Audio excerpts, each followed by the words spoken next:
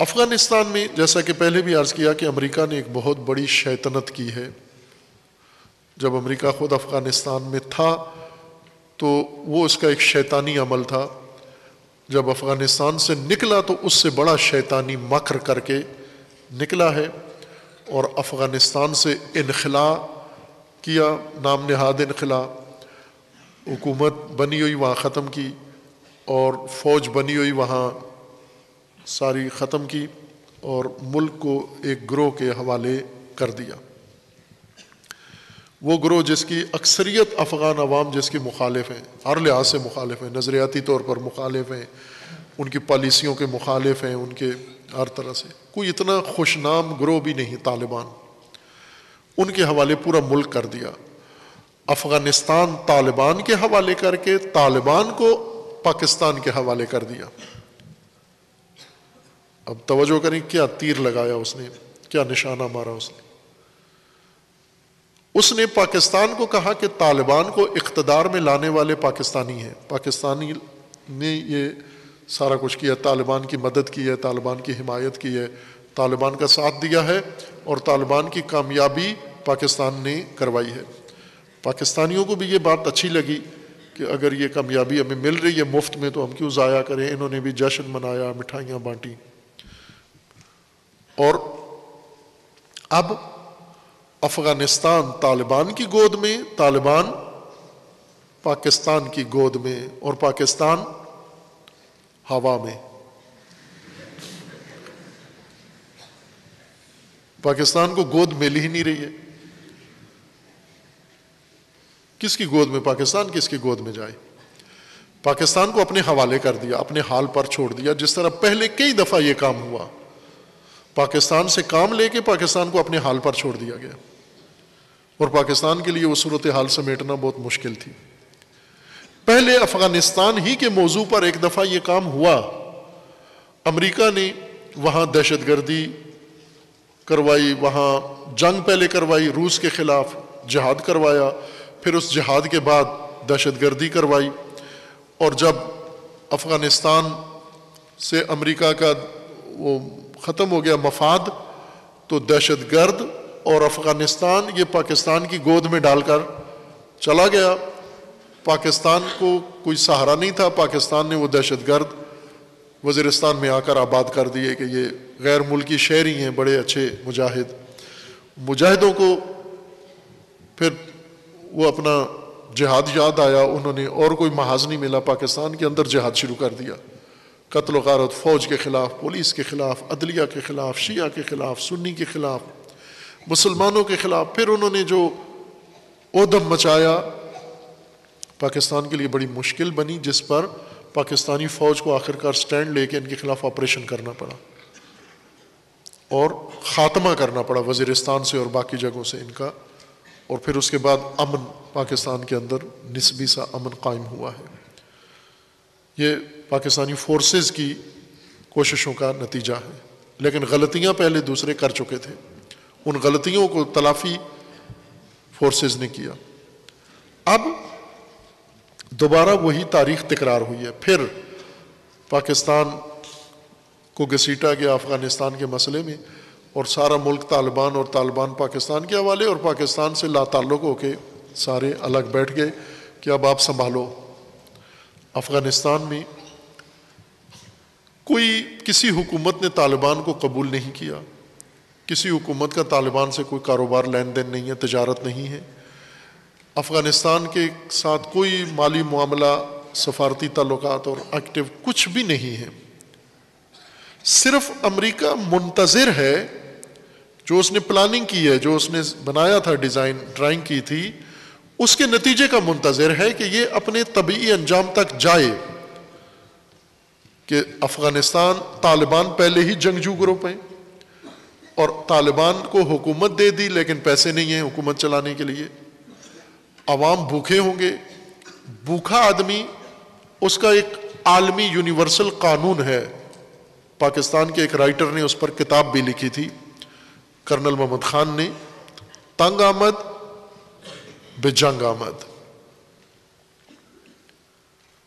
जब इंसान भूखा हो जाता है, जब तंग पड़ जाता है तो आखिरी चाराजोई उसकी क्या है? हथियार उठा लेता है, जंग। भूखा आदमी आखिर में जंग जंग के लिए तैयार हो जाता है।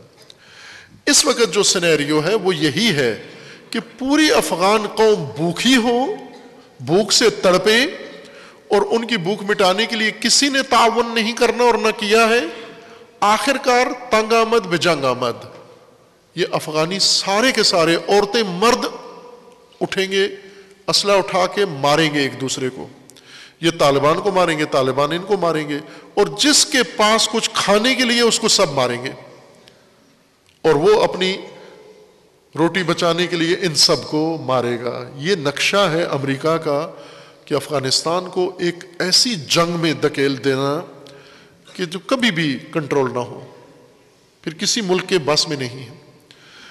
जब से तालिबान हुकूमत कायम हुई है, उस वक्त से पाकिस्तान मुसलसल, मैं पहले भी बारहा अर्ज़ किया है, पाकिस्तान की जो बड़ी रहनुमा है, हमारी सियासी लीडरशिप और फौजी, रोज़ाना की बुनियाद पर अपील करते हैं दुनिया से, अफ़गानिस्तान की मदद की जाए, अफ़गानिस्तान को संभाला जाए, अफ़गानिस्तान की कबूल किया जाए। वरना बहरान हो जाएगा, वरना इंसानियत अलमिया हो जाएगा, फलाह हो जाएगा। ये बग़ैर वक्फे के, तसलसल के साथ हमारे रहनुमा इस काम में मशगूल हैं। खूब अब आप तवज्जो करेंगे एक तरफ़ से ये सूरत हाल जो अमेरिका ने ईजाद की है और पाकिस्तान को कहा कि संभालो। पाकिस्तान में जो हुकूमत है, वो उससे पाकिस्तान नहीं संभला जा रहा। सबका वज़ीर मालियात या चेयरमैन मालियात के शोबे ने कहा है कि मुल्क दिवालिया हो चुका है। मीशत बैठ चुकी है, ख़त्म हो चुकी है। सारा मुल्क कर्जों पे चल रहा है और कर्जे उतारने और सूद देने की भी ताकत ख़त्म हो चुकी है। उस पाकिस्तान के जिसकी मीशत सिफर हो चुकी है, उसके हवाले अफ़गानिस्तान भी कर दिया। उसकी गोद में डाल दिया। वो अपना मुल्क चलाना उनके लिए मुश्किल है। कर्जे लेते हैं, बड़ी ऐसी शराइत पर कर्जा लेते हैं कि पंजाब का गवर्नर इंग्लैंड में जाकर कहता है कि हमने छह अरब डॉलर के बदले में वो कुछ लिख दिया है जो पाकिस्तान की तबाही की बुनियाद है। ये गवर्नर पाकिस्तान, गवर्नर पंजाब सरवर साहब, चौधरी सरवर साहब ने कहा है, जो सारी मीडिया ने बताया है। और ये सबको पता है कहा सरवर साहब ने, लेकिन मालूम सबको है, कहते नहीं है दूसरे, बताते नहीं है।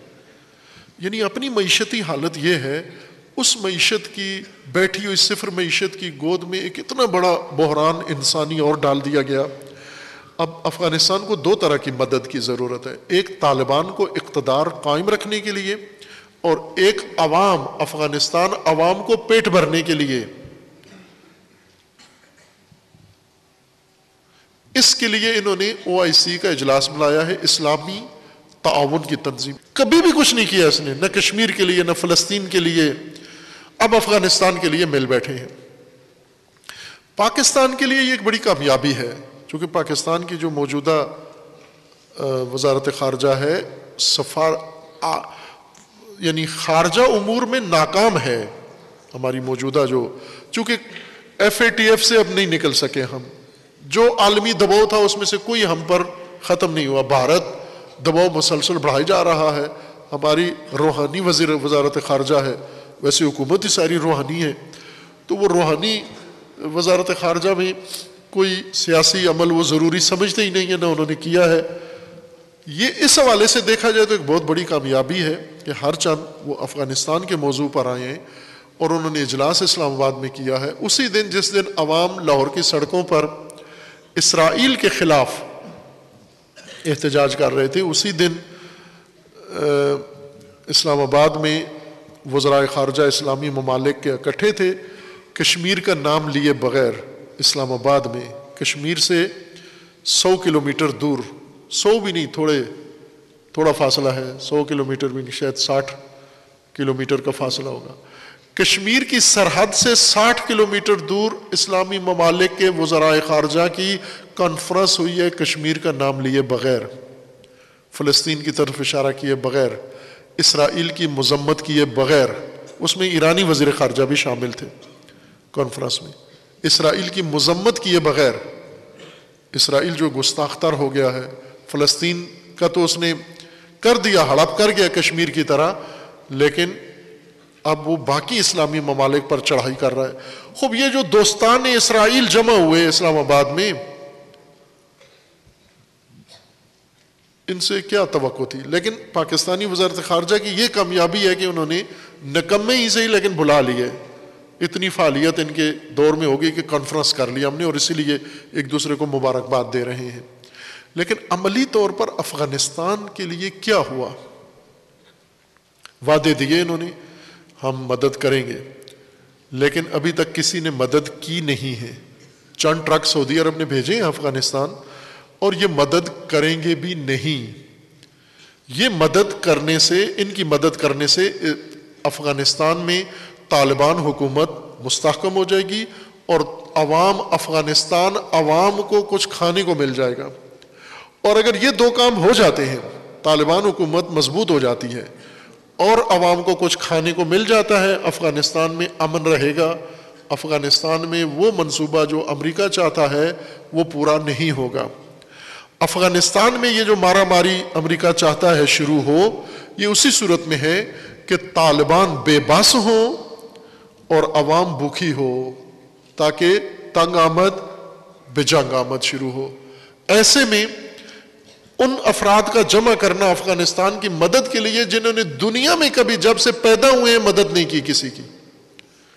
कश्मीर की मदद नहीं की, फलस्तीन की मदद नहीं की, किसी मुल्क की, किसी इस्लामी इशू की मदद नहीं की इन्होंने।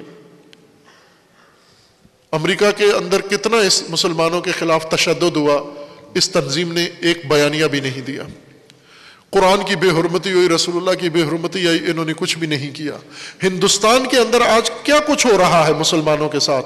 ओ आई सी यहाँ पर हिंदुस्तान के पड़ोस में बैठकर हिंदुस्तान की मजम्मत किए बगैर उठ के चले गए, बल्कि इस तंजीम के कई अरकान तो इस्लामाबाद आए ही नहीं।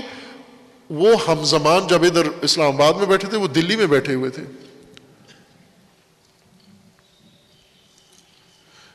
ये जो ममालिक हैं, इस्लामी ममालिक सतावन जिनकी ये तंजीम है, इन ममालिक की अपनी हालत देखें, क्या इनकी हालत है और ये क्या कर सकते हैं ये? क्या ये इस काबिल हैं कि कोई मुसलमान दुनिया को एक ब्लॉक बनाकर, ये तंजीम जब बनी थी तो उसके कुछ लीडर ऐसे थे जिनको बहुत लीडर का शौक था। जैसे जमाल अब्दुल नासिर, वो बहुत ही मुहिमजू आदमी था। उसके अंदर एक जाह परस्ती थी, हद दर्जा। वो चाहता था कि सफ़े अव्वल का आलमी लीडर बने।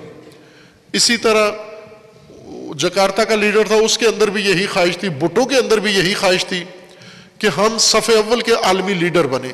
तो आलमी लीडर बनने के लिए हमें बाकी ममालिक को अपने साथ मिलाना होगा। इन जहापरस्तों ने यह तंजीम बनाई कि हम इस्लामी ब्लॉक बनाते हैं, मगरबी और मशरकी, कम्युनिज्म और इंपीरियलिज्म के मुकाबले में, अमेरिका और रूस के मुकाबले में हम एक तीसरा ब्लॉक बनाते हैं जिससे तोज़ुन कायम होगा। लेकिन ये तोज़ुन कायम नहीं हो सका, चूँकि जिन ममालिक को मिलाकर ये आलमी लीडर बनना चाहते थे, वो ममालिक, सारे गुलाम ममालिक हैं। वो अपने इकतदार के लिए, हर एक कदम उठाने के लिए तैयार हैं।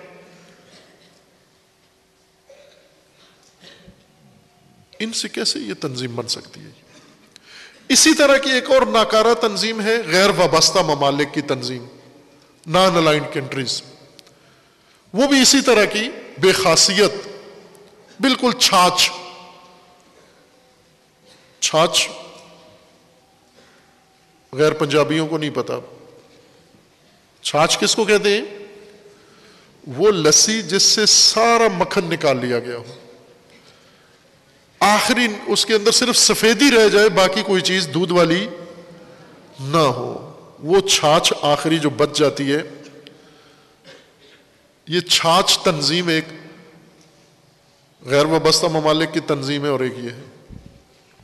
ये सिर्फ़ इनके दरमियान जब सऊदी वज़ीर खारजा बैठता है, मरकजियत उसको हासिल होती है। सऊदी शहनशाह बैठता है तो अपने आप को शहनशाह कहता है, शाह एक मुल्क का होता है, शहनशाह जो शाहों का भी शाह होता है तो सामने गुलाम शाह बैठे होते हैं सतावन उनके छप्पन शाह बैठे हुए हैं सतावन नंबर सऊदी अरब का बैठता है, उसको एहसास होता है, मैं बहुत बड़ा बादशाह हूँ दुनिया के अंदर। बाहर कैफ, इस हद तक ये कॉन्फ्रेंस बेहतर थी कि हमारी वजारत खारजा में कोई तहरक आया है हमारी वजारत खारजा ने बिलाकर दुनिया के ममालिक को अपने किसी मौजू पर शामिल किया है। हर चंद उनसे तो किसी को भी नहीं है। ये अफ़गानिस्तान का मामला हल करेंगे। अफ़गानिस्तान का मामला ज़ाहिर है, अमेरिका नवाज़ ममालिक अफ़गानिस्तान की कोई मदद नहीं कर सकते। अफ़गानिस्तान की मदद कर सकते हैं। तीन मुल्क, अगर वो चाहें तो जो इसमें एक शामिल था, बाकी नहीं थे। रूस, चीन, ईरान चूँकि तीनों अमेरिका मुखालिफ हैं। ये कर सकते हैं अफ़गानिस्तान को। लेकिन ये उस सूरत में कर सकते हैं कि इनका कोई मफाद हो अफ़गानिस्तान में। इस वक्त जो, ये जो कॉन्फ्रेंस के आज़ा हैं या अकवा मुतहदा में जो बैठे हुए हैं, ये क्यों कोई आलमी मसला हल नहीं कर सकते ये लोग? इसलिए कि ये सब मफाद परस्त हैं। अपने अपने मुल्क की, के मफाद को मद्देनज़र रखते हैं, या अपनी हुकूमत के मफाद को। बहुत कम लोग ऐसे हैं जो मुल्क के मफाद को नज़र में रखते हैं, जैसे चीन और रूस हैं। ये मुल्की मफाद अपना नज़र में रखते हैं। बाकी हुकूमती मफाद, यानी इस वक्त जो भी हाकिम है, वो मज़बूत हो, ममलिकत बेशक मुल्क को मफाद मिले या ना मिले। जैसे पाकिस्तानी हुक्मरान हैं, ये हुकूमती मफाद मद्देनज़र रखते हैं, लेकिन मुल्की मफाद इनके मद्देनज़र नहीं होता।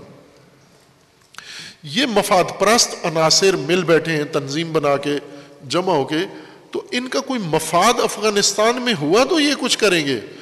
आपने मदद किस बुनियाद पर मांगी है? इंसानी बुनियाद पर। इंसानियत तो मफादात में से शुमार नहीं होती, उसूलों में से है, अकदार में से है, वैल्यूज़ में से है। और दुनिया में इस वक्त उसूली सियासत नहीं हो रही, मफादात की सियासत हो रही है। तो अफ़गानिस्तान में जिसका मफाद होगा वही मदद करेगा। जिसका मफाद नहीं है, वो मदद नहीं करेगा।